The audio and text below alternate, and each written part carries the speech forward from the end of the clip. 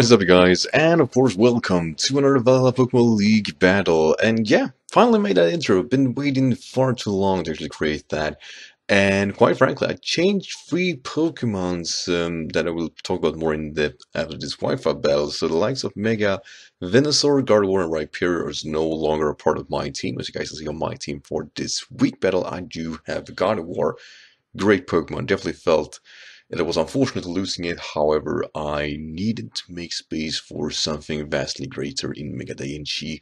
So, that said, we're going against the Houston Rotoms and Nasser, and his team is quite ferocious. He's definitely bringing the team I was expecting. Um, were a few things I think they had that could definitively shake me, but I think this was the smartest way was going about it. So I was happy to see it since I decided with this in mind. So we see an Entei, Scyther, um, Mega Swampert, I was going to say a regular Swampert actually, Mega Medicham, Tapu Koko, and Vileplume.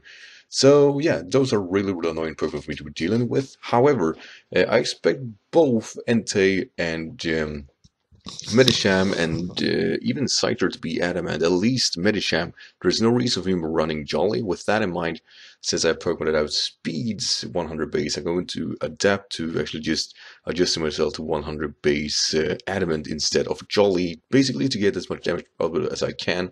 Uh, major thanks to my co-coach Ellis for designing this. I think we had a great idea what we wanted to create and got around just about it. I, I decided a few checks here, but he definitely had the core aspect that he was going to run more of physical towards me, hence I decided to do the same.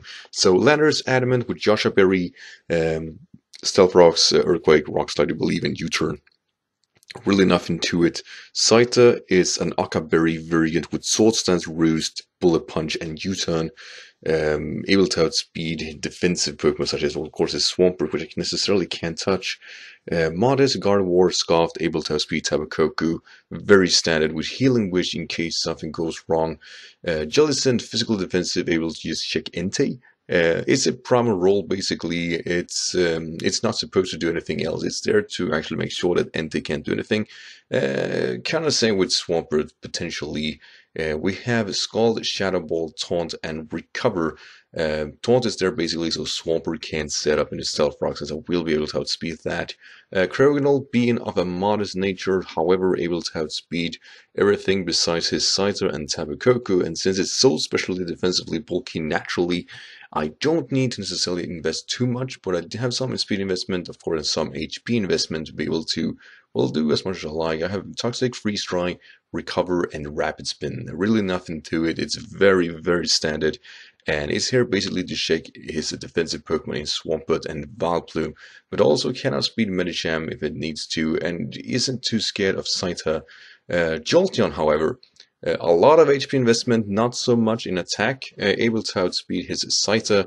Uh, it's a timid variant with a lot, a lot of HP and leftovers. This is mainly here to actually check Tapu Koko, which won't be able to touch a Jolteon, and it's the prime of this, this Pokemon. It is to make sure that Koko can run freely, uh, can't spend Thunderbolt. However, I can spend Thunderbolt towards him and actually just try to capitalize on gaining as much HP as possible versus that, and of course be able to outspeed my own stab when the train is up. So yeah, with all this in mind, all I really need to do is get rocks out of the field, so that is what I'm going to try to do. So with that in mind, let's of course go into the match.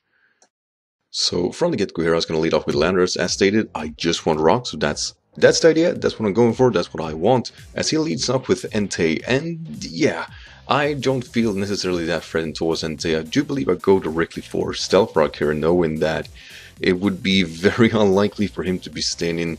Uh, so Swampert comes in, and I fear that, you know, of course he's going to go for Rocks in his own. I don't see the reason for me going for an Earthquake, so I go directly for U-Turn, and we see that this is a bulky Swampert. It's supposed to, though just confirming that is quite enough for me, as I bring Phasma with my own Cryogonal, and yeah, this Pokemon can't do anything towards us. I am fully aware of that. And um, all I really need to do is go for Rapid Spin here, since Scald nor possible of the Stone Edge will hurt me that much as Entei comes in again. Um, and yeah, Entei is an issue. Uh, however, Jellicent is a safe switch in towards this Pokemon, and since I'm bulky, I should be able to take anything it want to throws at me, though one thing I do fear is the Grassium Z variant. It's either that or it's going to be Assault Vest. So when I switch in here and he goes for Sacred Fire, I know he's not banded. Uh, so what I did here was actually calculating whether or not I could survive a Grassium Z Solar Beam. And uh, yeah, I was supposed to be able to do so actually with quite ease actually. Um, as it goes for it, uh, and it was to be expected. Now the burn is unfortunate, but I will not be KO'd here, which is really good for me, or rather, it's it's great to know that that is not the issue as it goes for it. Actually, consider that Sacred Fire only did was roughly 37 HP. I'm actually in range where I can recover afterwards too. So with that in mind, I felt, alright, you know, I will took this, I should probably go recover first, expecting what he did there. But as stated, I am still in range where I should not be KO'd by the Sacred Fire, so I'm not too worried actually. As he goes for the Sacred Fire, and um, what do you know? He um, he actually got the roll to kill me, which yeah, it's my fault. I definitely could have switched out there, though I can't recover against anything in this team, so I was quite on the spot. However, Landorus can easily come in, and since we know he's no longer banded, I don't fear his extreme speed as he K with. Basically, I don't want anything else coming in. Landorus kind of threaten out most of his possible checks. And the few defensive Pokemon he has, I can U-turn against and actually getting Cryogonal back again, uh, which is exactly what he decides to do. He goes to Swampert, which I feel is quite right, as we get even more chip on that and actually do even a larger sum of damage towards that. Bring in Phasma uh, he's definitely going to go for Stealth Rock, there is no about it, but that's the thing though, I kind of need to go for Rapid Spin yet again since I don't want to receive damage on my side, however, I do want residual damage on his side.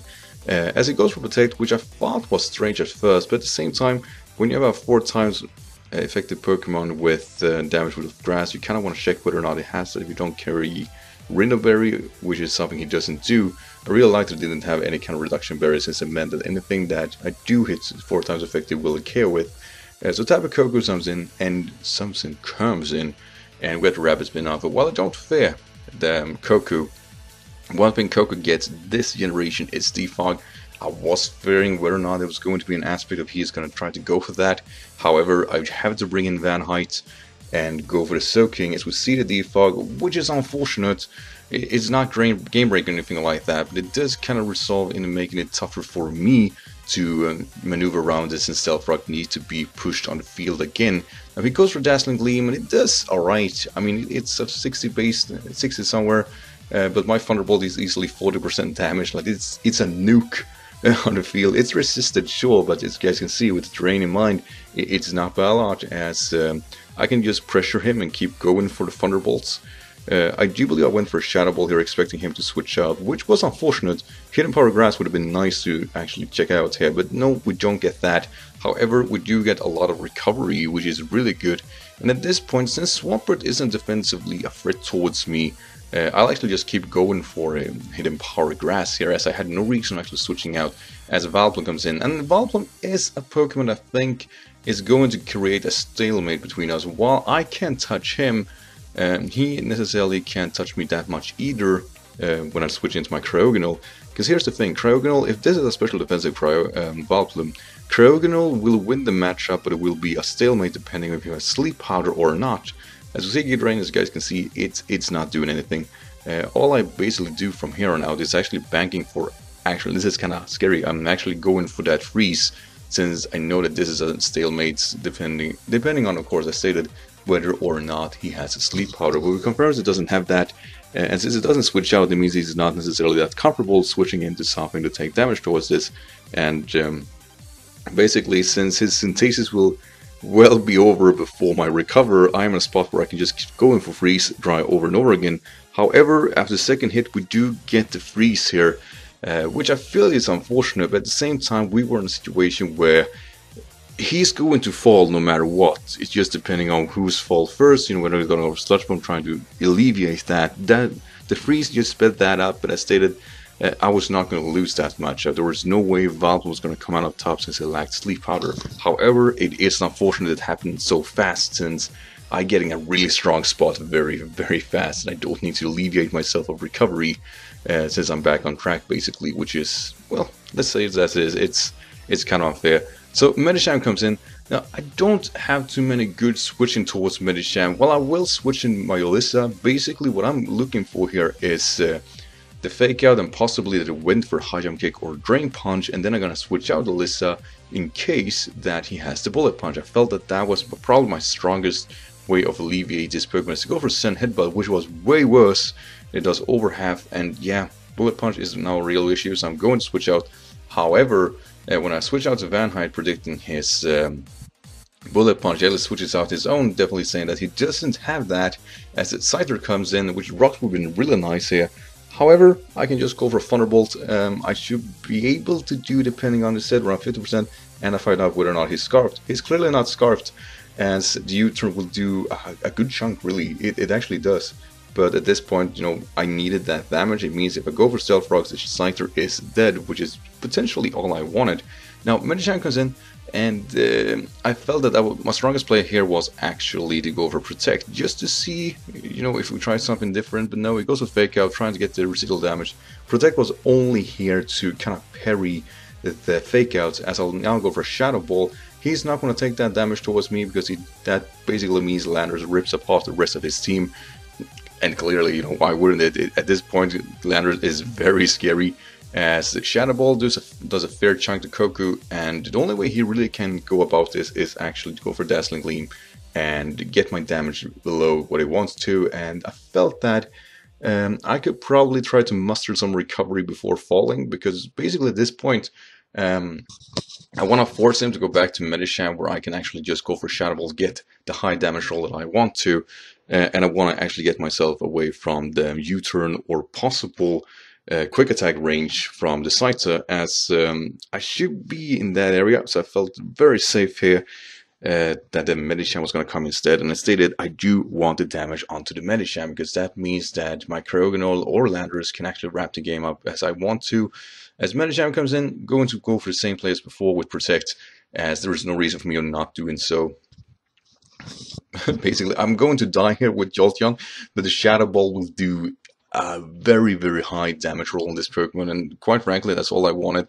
While I do believe Thunderbolt would do roughly the same, uh, I really just want to have the Shadow Ball. I guess was my strongest play in mind. Actually, thinking about it, Thunderbolt might actually have killed, so that might actually be the worst between the two. However, uh, we do get the damage I want to, and at this point, um, I'm actually going to bring Theta Max. I am banking now on the Swampert to come in, so I think I actually decided to... Uh, I think I U-turned here. I'm pretty sure I did that. Uh, either no, I went directly for a bullet punch. Uh, thinking about it, there was no reason for me to actually bring in Scizor in, uh, basically because Cryogonal, I do believe, was outspeeding here no matter what, since it confirmed the damage output, uh, since it did so much on my Gardevoir. However, uh, I do go for U-turn here, and I get Cryogonal into the game. Uh, he actually decides to go for a Scald, which I think was very fair. At this point, you know, you do what you have to to get some kind of damage. He do connect a burn here, which is fortunate for him, uh, even though it doesn't necessarily matter, it's still in the part where he didn't have any hacks in his side. I felt that I kind of got a bit of a stronger lead when he did, and um, I can easily here go for a freeze dry. And uh, he will now bring in the Medicham, hoping that the fake out is able to KO me, I think. Um, surprisingly enough, due to all the bulk that I have been building with Cryogonal, it is actually able to, um, not with ease, but it will be able to take a fake out. I'm actually fairly surprised about this, and uh, I thought would do a lot more, but no. Vastmire is still in the game, even though we confirmed it's adamant. I can stay in easily here and go for freeze. I don't need to worry about it. Uh, had he had a bullet punch, it would have showdown for already, as we actually just KO'd the Medicham, and the Scyther is his last remaining Pokemon. And I'm going to decide to be a bit greedy here and try to, instead of losing or winning 3-0, I'm going to decide to winning 4-0, which means that I'm going to switch out my Cryogonal, go to the Theta Max, my bullet punching machine, that is the Scizor as Seagulls from Nearlace. Doesn't do anything because we are fairly bulky. However, a bullet punch is not able to kill a Scyther, and he's going to retaliate with hidden power of fire. Luckily, though, uh, you know, we have the Occa Berry, so it was alright, but at the same time, I think it was an unnecessary risk Consider that we didn't KO. And, you know, he could have very well go for a swords dance, and that would have meant that the air laser would have been a lot, lot scarier, even though I had a Scarf Gardevoir in the back. So yeah, I was fairly happy with my game here. Um, to Nasser's credit, I think he brought the right team against me. It's just that I was hoping this was the team was going to tackle my team with. Uh, which basically meant that I got the maneuverability I needed to kind of kind of pressure him the way I wanted. So I think um, I definitely think that the Entei play that was really really cool. I was really unfortunate that Jellicent didn't survive that outcome. However, as stated here, I would not have been able to save Jellicent necessarily against that matchup either. I should definitely recovered versus that Solar Beam, but that would have meant that I wouldn't have gotten Entei with a range where it would basically die to rocks. Entei was a tremendous threat towards my team, and I think getting that out of the way very early was important for me because that meant Cryogonal, Jolteon, and even Gardevoir could have adjusted themselves a lot smarter to the game, so I appreciated that. Um, that said, you know, a quick rundown about the team that I changed here. As I said here, Mega Genji is now part of my team. This will mean that um, I will not be forced to play as defensive as I have been done before. Now, clearly, I played this game offensively, but with defensive checks. I used offensive Pokemon as defensive variants of them, and it worked. It worked, but it looks strange, and I feel like play strange with that in mind. So I was really glad to get the Enchanted team. We also have a Moongus now or Mega Venusaur, which is really cool. And Rhyperior, since I have a Rock type already, I don't need Rhyperior, which meant that I actually got Mesprit.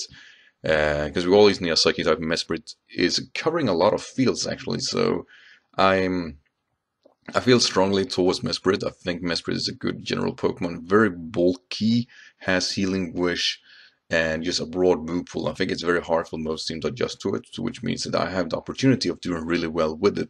And clearly my intention is to do just that. So yeah, I really hope the team is stronger for it. If not, then well, jokes on me, right? Kamo is still a team. I think Kamo is kind of a mascot for this generation, uh, or this at least this season for this generation for me. I really like Kamo and really want to capitalize on that Pokemon. Um, and while it wasn't useful towards this game, it's definitely going to be useful towards the other players I'll be facing in the future.